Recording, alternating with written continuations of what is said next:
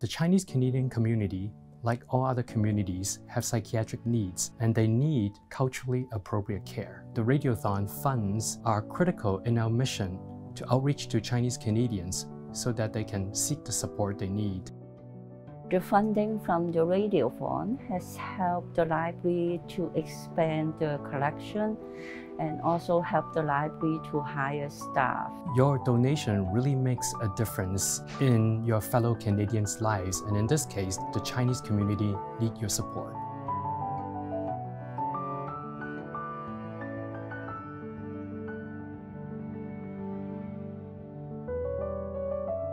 I love the radiothon because this radiothon brings the Chinese community together and we can lead a healthy living together.